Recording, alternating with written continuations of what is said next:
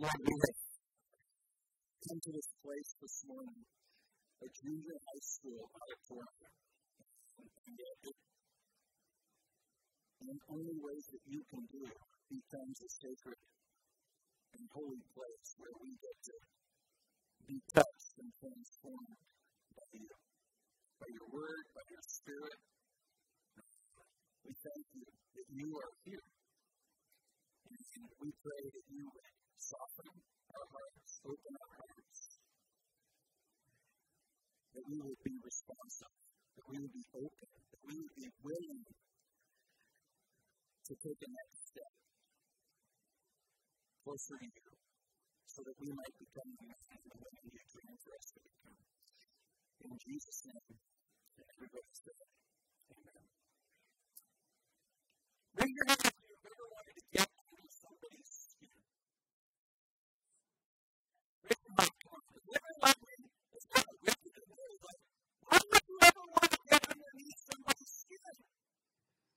You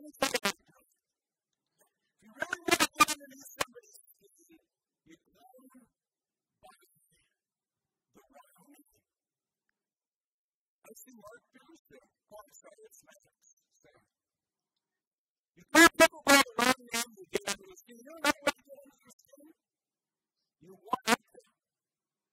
Oh, good. I heard you're going to Italy. I just I used to live there, man.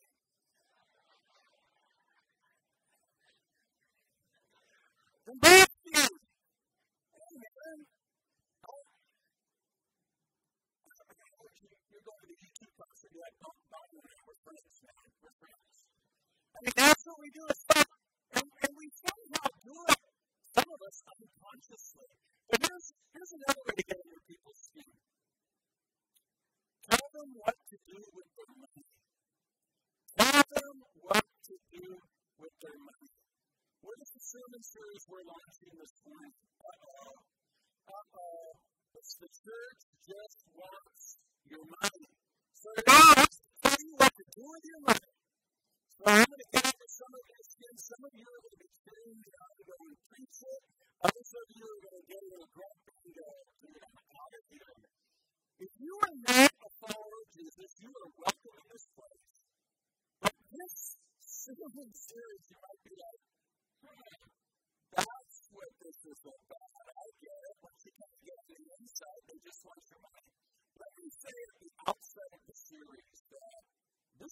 been in existence for almost 19 years, and God is taking care of us. He just needs to take care of us.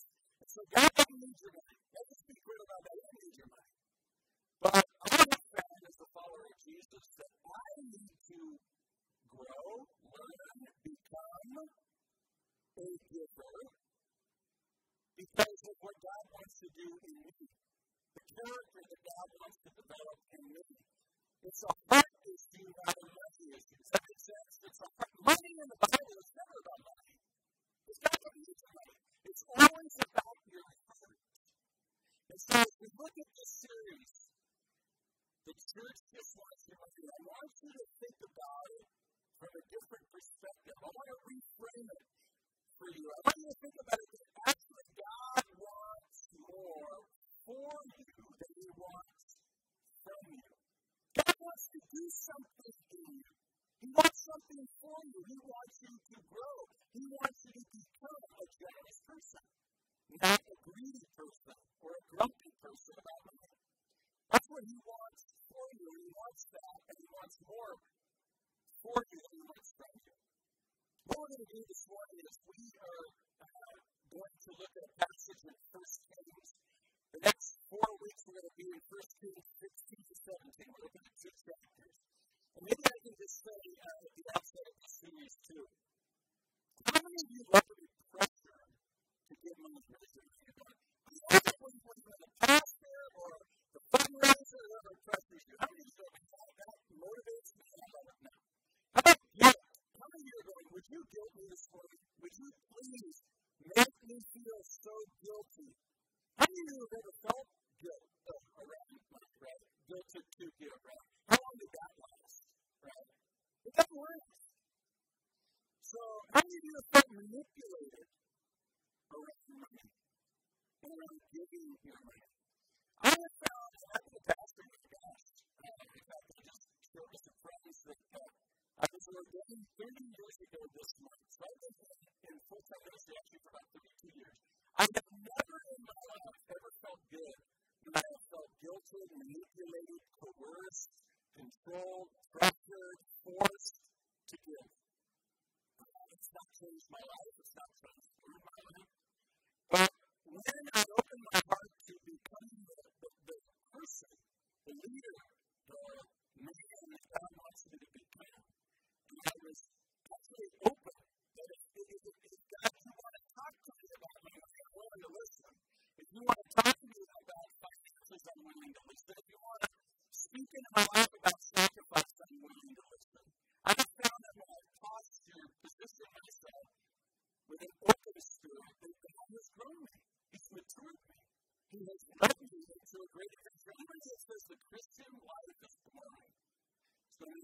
it's just to be a Christian.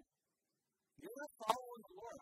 And I love to tell Christians and say, man, I'm just stagnant spiritually. You I tell them, give more. Well, what are you talking about? Give more. The adventure of giving. If you're feeling flat, stagnant, and not being fed, whatever it is in your life, you're bumping around from church to church looking for the you start giving more and you'll start growing more. I found that true in my life. Because that's where faith hits your feet. You start you start making movement. It's not just here, but I believe in that.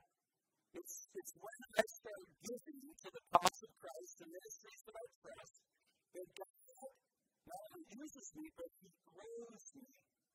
So let's look at this interesting story. You might, after I read this, go, what does this have to do with giving? But we're going to look at 1 Kings chapter 17. You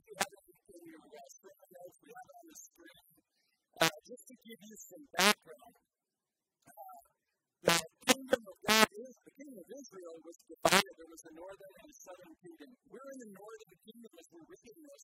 And all the kings in the northern kingdom, they were. The people of God, devoted, and then they slowly drift away. The leader, the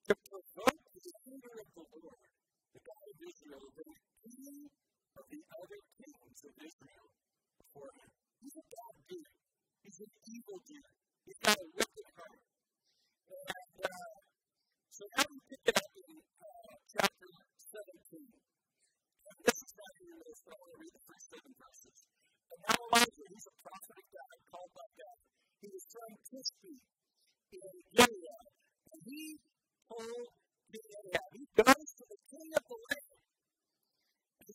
Surely as the Lord God of Israel lives, God there will be no or the next few years until I give the word.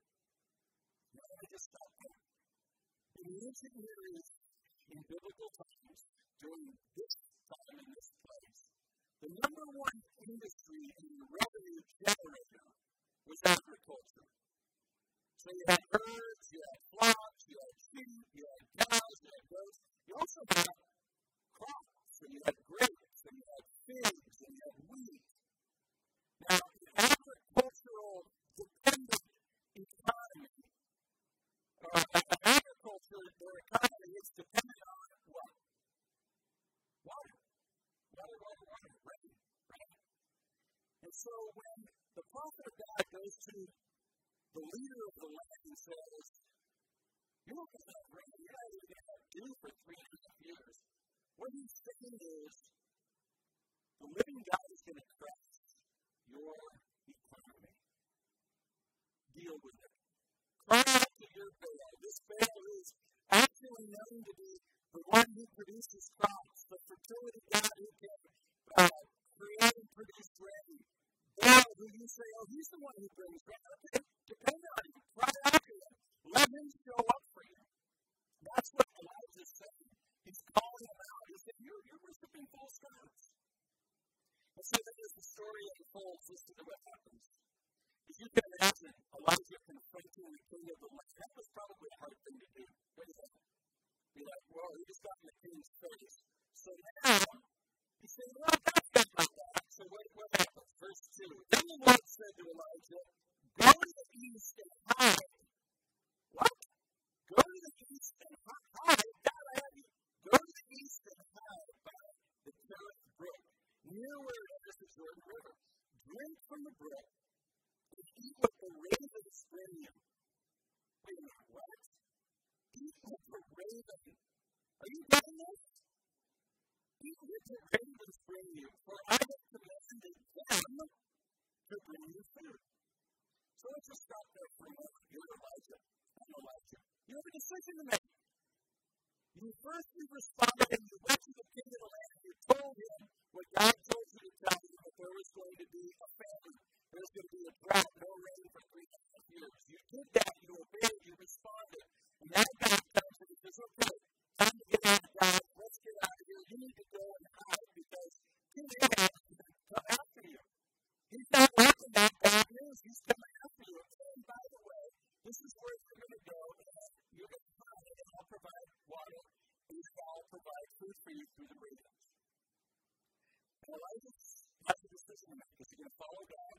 Yes, or is he, is he going to run away from God or run towards God? He says yes. And he, goes to the Brook. And this is what the text says, verse 5. So Elijah did as the Lord told him. He camped beside the Brook east of the Jordan. Verse 6 The ravens brought him bread and meat each morning and evening, and he drank from the. We'll stop there. God provides for his people in unexpected ways. Who would have thought that Would through ravens, and yet by saying yes, by willing to take a risk, by willing to lean into a God guided adventure, by willing to be obedient, by willing not to push back, but to say, Lord, use me, I'm open. God is faithful. God provides for Elijah. So you're thinking, awesome.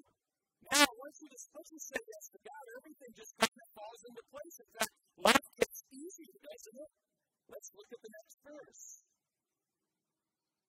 So Elijah so Elijah did as the Lord told him to do, so we read that. Then in verse 7, but after a while, the brook dried up. After a while, the brook dried up, for there was no rainfall anywhere in the. How can the brook dry up, God? I'm following you. You said you'd provide for me. I went where you told me to go. I did what you told me to do. But after a while, what does that mean after a while? It means after a while, things can change in your life. People change. Circumstances change. The weather changes. The drought comes. The stock market changes. The real estate market changes. After a while, I wonder if you've ever been there. In that season where you were following God, doing what He told you to do, you're the good boy, the good girl. And then you're wondering, well, wait a minute. Things aren't getting better, they're actually getting worse. Is that possible? I was told if I became a Christian, my life would get better.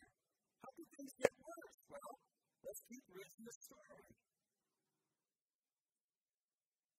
I don't know about you, maybe before I just jump into this next section, but when I, when I find myself at a brook that's up,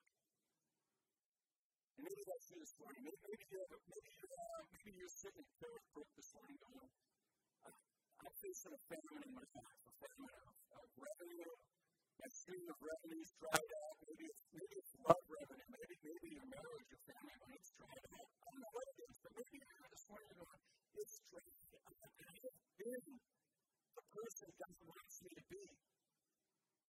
The question is, what play? What's your next step? What's your choice that you're going to make at this point in your life? Are you going to run from God and go, God didn't work for me. I tried it. I tried Him. It didn't work. I've heard that. People say that. And that's one of the temptations. That's one of the choices that you have to make when you get to that Kerith brook that's dried up in your life. Others decide, I'm going to run ahead of God. I don't, I'm not going to run away from Him, but God needs my help. And so I'm going to do it for Him because God's not behaving, God's not acting, God's not doing what I want Him to do. So I'll be the rainmaker. I'll make it happen because I have what it takes. What does Elijah do? It says that he waited. He trusted God to direct him, to speak to him. And so if you look at verse 8, it says, the Lord did speak to him. And what did he say? The Lord told Elijah, Go! Go to Napa Valley, and a wealthy winemaker will take care of all of your needs. Not quite. Go to and live in Zarephath near Sidon, or Sidon, however that's pronounced. And a widow will feed you. Wait a minute. What do we know about Zarephath near Sidon? What do we know about widows? So let's look at it. The Sidonians are the bad guys in the Old Testament. They're the evil ones, the hated ones. Sidon is the center of Baal worship. It's where the false gods, it's where Jezebel is from.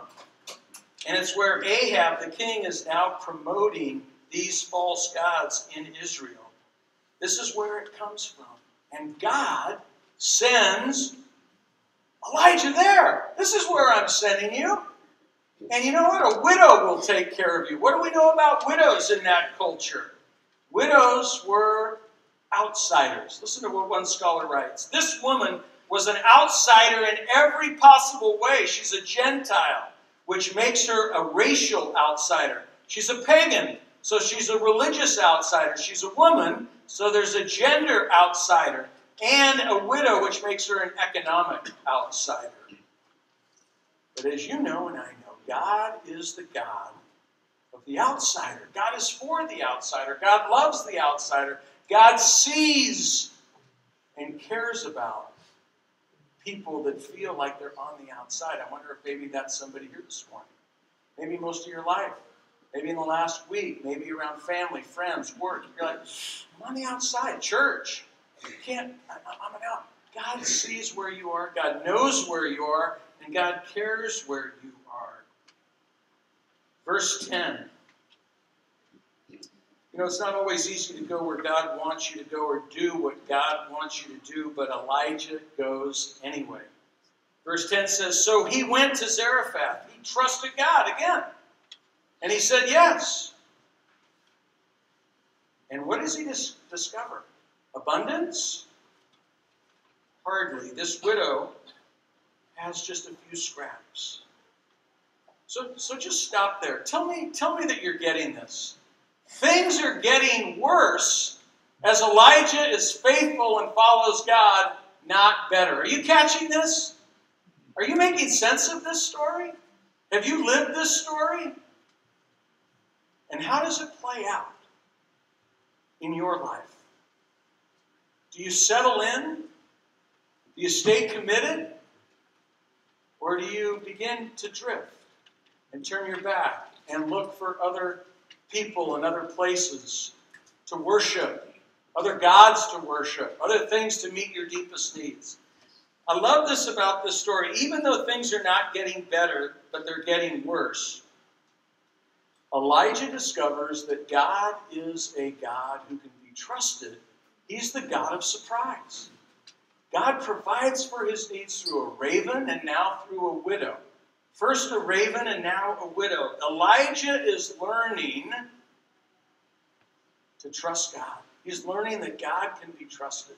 He's learning that God will provide for his needs. He's learning that when he says yes, God will give him not everything he wants, but he will provide for his needs. Does that make sense? God provides through the most unexpected places.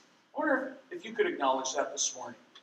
I talked to somebody this week who was struggling, going, Man, I need a family vacation. My wife and I haven't been away in our family. Says, and wouldn't you know it? I had a friend who said, I want you to use our cabin. We have a family cabin. We want you to use it for free. He was like, What? Now he could go, Well, man, that's because I'm such a good friend of that guy. It's all about me. But he said, God, God provided. He filtered it that way. He saw God's providing for me and my family. How do you filter? What's your perspective on all the blessing in your life? Is it you? I'm the man. Were you able to acknowledge, boy, everything I have comes from God? Every good and perfect gift in my life comes from God. He's given me the personality, He's given me the network, He's given me the friendships, the contacts, the work ethic. He's developed that by His grace in my life, or is it all about you? That's a spiritual question and a spiritual issue for all of us. So now let's turn our attention to the widow. Elijah comes to the widow, and you're not going to believe what he says. He says, Don't be afraid. Make something for me first. And use what's left to make a meal for you and your son. Now, she just told him, I don't have anything. I mean, I just got a little oil here, a little flour. My son and I, this is going to be our last meal, and then we are going to die. That's what she said to Elijah, and he goes, Make a meal for me first. yeah, that should strike us as funny. It's like, wow, really? Why is, what's going on in this story? What's the lesson God wants us to learn in this story? Elijah says, Don't be afraid.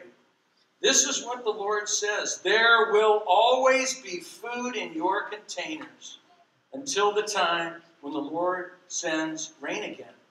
And so this widow has a decision to make. She's going to put God's prophet, God's man, God's leader, God's ministry first, and then she takes the leftovers, or is she going to provide for her and her son first and give God the leftovers? That's really the decision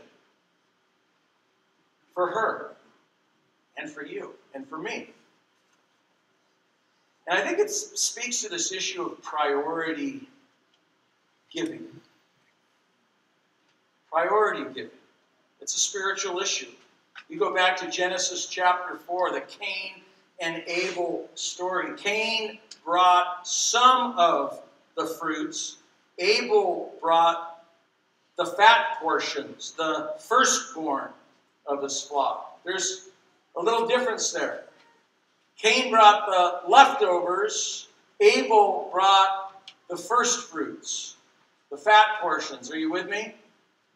Abel made giving to God priority one in his life. And what's interesting, if you follow the story, the Lord looked with favor, favor on Abel because of this biblical principle. It's not a law. We're not talking about the law here. We're not talking about the Ten Commandments. We're not talking about tithing. We're not, we're not talking about that. We're talking about a, a biblical principle that's way before the law is ever put into place. It's about priority giving. And this principle is we give to God first. We give to God our best, not what is left over. It's interesting if you read that text in Genesis 4, it says that Cain was angry and downcast because Abel's gift was favored by God and his wasn't. I was thinking about that. Isn't it true that that's usually the, usually the way that uh, that people get when they're stingy and grumpy? They get downcast. They get angry when we're stingy. That's how I get. When I'm a stingy person, I get grumpy. I don't know why that is, but my spirit, when I'm living this way rather than this way, I find myself I, I, find myself more easily irritated. I find myself looking and comparing more and judging more rather than being freed up. And so here's how the story ends. Verse 15 and 16, she did, you know, what's she going to do? She did as Elijah said. And here's what the text says. This is what the Bible says. They all continued to eat for many days. There was always enough. There was always enough in the containers, just as the Lord had promised. There was always enough in the containers, just as the Lord had promised. There was always enough. There was always enough. Four words. Say them with me right now. There was always enough. Do you believe that? If you give, there will always be enough. That's a spiritual question that I have to ask and you have to ask because fear is what prevents so many of us from giving to God. Can God be trusted? Is God trustworthy? When He tells you to do something, can you count on Him? And maybe the bigger question for us this morning is can I be trusted when it comes to the resources God has put in my care? Can I be trusted? Can you be trusted to steward, to direct, to give the resources of God to the places He wants you to give them? So let me say this again giving out of guilt, obligation, pressure, manipulation, it's unwise, so don't do it, and it's unhealthy. It develops a critical spirit, a resentful spirit. That's how I get when I feel pressure. So don't do that. But, so what, what's the healthy way to give? It's giving out of a heart that trusts God, that loves God, that is thankful to God for what He's done, for how He's providing for you. Jesus said, Where your treasure is, there your heart will be also. Where your treasure is, follow your treasure, follow your Visa bill, follow your checkbook, and that's going to help you discover where your heart is, what's important to you. That's all you got to do. Go through your checkbook, get online, look where you spend your money. And you'll be able to tell whether God and His purposes and His ministries have your heart or not. I'm going to close with this story. Friday, I had a chance to go swimming with uh, a couple guys in our church Jeff Rohde, Jamie Chilton, some of you know them. And uh, we went to Los Baños Pool. And many of you know the story that it was like three or four years ago, four years ago now. Jamie Chilton helped me to swim in such a way that I could do the Alcatraz swim up in San Francisco. And I, it's not that I didn't know how to swim, but I was I had fear around the water and I, I couldn't swim long distances. So he started me out at Los Baños Pool in the slow lane. And he took one of those floaty devices that you put between your legs here because they, they, they keep you up. And I was like, I'm not doing that. And he goes, Yes, yes, you are. That's going to help you. And so I did. And I, I went from the slow lane, and then over the course of a year, I actually graduated. I went to the medium, medium lane. And I have been in the medium lane for the last four years. It's awesome. I, I go to Los Baños Pool, I jump in the medium lane, and I swim my mile, and then I get out and I go. And I'm like, yeah, all right. Well, on Friday, the medium lane had like six swimmers in it already. And so there's slow. Yeah, there we go. See, here, here it is. Slow, and then there's medium, and then there's fast, and then there's very fast. Well, there was one swimmer in the very fast lane. And Jamie said, let's jump in the very fast lane. And I'm like, I wouldn't even get near the very fast lane. I mean, it's intimidating. It's like, I'm unqualified. There's no way. That's going to be embarrassing. I want to save face. Let's go to the slow lane. So he jumps in the very fast lane. And I jump in with him. And I'm like, I got to swim fast. So I'm just like, I mean, I'm just swimming as fast as I can because I'm, you know, like, I got to show that I, I belong here, right? Well, I, I swim a few laps and I'm kind of tired, but a few more very fast swimmers get in the lane. And for those of you that swim, you know, I'm swimming, all of a sudden I feel a hand on the back of my foot. It's like it's like driving in the fast lane and someone's blinking their lights on you, right? I got the message. It's like, hey, get out of this lane. You're not fast enough. So I went, okay, swallowed my pride, went to the fast lane. Jeff Brody was in the fast lane, blasting out a bunch. I'm like, man, he's a good swimmer. I am going to try and keep up with Jeff. And uh, I started swimming in the fast lane, and I was able to keep pace. I was shocked. I've never been in the fast lane, never been the very fast, never been, I was in medium or slow, but I went into the fast lane, and I was able to maintain my pace for a mile. And guess what? I didn't drown. I, I actually lived to tell this story. I'm okay. I survived. I even thrive. Now let's apply that to giving. What lane are you in? Actually, what lane you're in doesn't even matter. Some of you aren't even in the pool yet. Some of you don't give. You're on the side of the pool. And you watch everybody else give. And you say, Well, I give my time. You know, I, I haven't found anywhere in the Bible that says we're not called to give money. I, I just can't find it. It's a spiritual issue for me, and it's a spiritual issue for you. And my question is what's holding you back from stretching yourself right now? Maybe you're in the slow lane. You go, you know what? It's time for me to move over to the medium lane. I'm going to do that.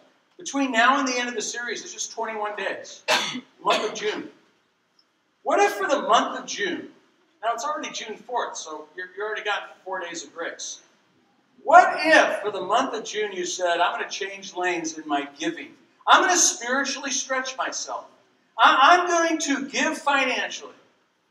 And I say this often here. You don't, if, if, if we don't have your heart here at Ocean Hills, if you're going, actually, I'm, I'm more committed to Navigators or Young Life or whatever it is, InterVarsity, great.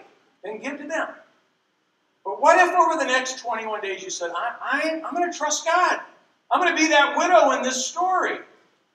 And I'm going to say, okay, God, I'm going to trust you. I'm going to give more than I've ever given before. It's going to make me uncomfortable. I'm going to be stretched. I don't even know if I can keep pace. Well, guess what? Guess what happens at the end of June? You can go from the very fast lane back to the fast lane. You can even go to the slow lane if you want. But when was the last time you stretched yourself? You said, God, money's a spiritual issue and I'm going to trust you right now. I'm just, I'm, I'm just going to do it. Because I'm kind of bored spiritually. I'm kind of going through the motions. I'm kind of, I read my Bible, I check the box, I show up to church, I check the box.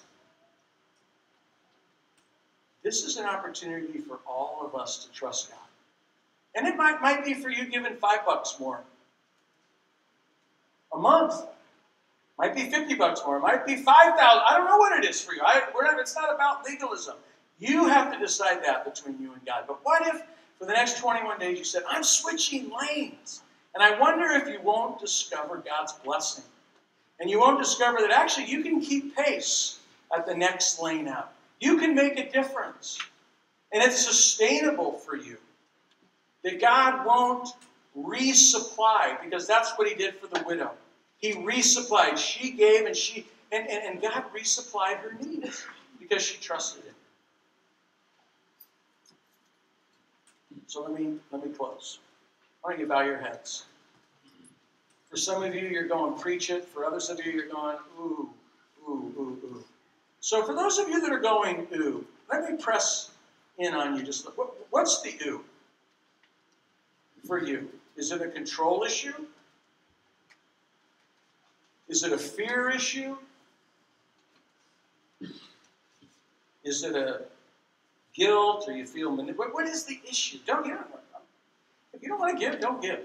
This is just between you and the Lord, you and God. What, what's holding me back? What's holding you back from saying, I'm gonna, I'm gonna get in a different lane? This next month of my life. And I'm going to give more than I've given before. And I'm going to see if God does resupply and God does provide for not my, my wants, but my needs. And so, Lord, I just I want to say yes for all of us. I want to say yes for, for Natalie and myself. That this would be an exercise of faith for us. It's, it's kind of scary. Why not? Lord, where you provide, help us to be a conduit. That we would become faithful givers, not fearful givers, but faithful and fruitful and front runners. Let us be the pace setters because we know that our faith inspires faithfulness in others. And so I pray that we would live by faith. We thank you that you did not hold back, that you did not withhold your love, but you gave everything on the cross. And we look to the cross as our example, that you gave it all for us so that we might know you and that we might live with purpose in this world. And so now, as we come to this table this morning, I pray that as we break off the bread and, and, and drink of the cup, and we proclaim your death and your resurrection and your love and your mercy and your grace, Lord, I pray that you'd meet us. In Jesus' name. Amen. You're invited to come to this table not because you must, but because you may. It's not an obligation, it's an opportunity for you to connect deeply with God. There's a devotion that we read, many of us on staff, many of you in the church read this, this great book by Paul David Tripp, New Morning Mercies. Let me read these words to set us up for what we're about to do here. Individualism is not freedom, it's bondage. Living for yourself is not liberty, it's a self imposed prison. Doing what you want to do when you want to do it and how you want to do it has never been the good life. It never leads to anything good. Making up your own rules, following your own paths, leads to disaster. God calls you to Himself and commands you to follow Him so that by grace He may free you from you.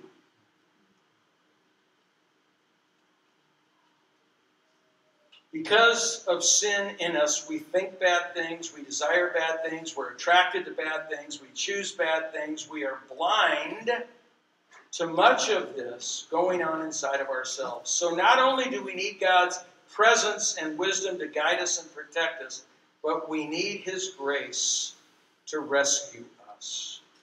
And so we come to this table in need of grace because we're selfish, we're hoarders, we're greedy, we're stingy and we can give more to people in need, to people that are hurting that are suffering, so that more and more people will, will find and follow Jesus. And if that's your heart, then you're invited to come to this table and receive forgiveness and grace. If you're open, maybe today's your first time going, I'm not, I, I don't, I don't know it all. You don't have to know it all. Is your heart open to God's love for you and His plan for your life? Then you're invited to come. And you can kneel both sides of the table are open. And, uh, and maybe today, how about if we do this? I'll just, maybe your way of commitment. If you're saying, I'm going to do the 21 day challenge. That, I know God just was tugging on my heart, and I need to do that. Maybe when you come to the table, would you kneel? That's your, that's your way of saying, God, I'm in. I'm, I'm, next 21 days, I'm, I'm, I want you to know I'm committing myself to, to change lanes in my giving and trust you in a way I haven't before. And whatever that means for you, you just come around the table and kneel and as a way of committing yourself to God for the next month. Okay? Is that is that cool? We good? Okay. When you're ready, come. We're going to sing. Nico's going to introduce this song to us.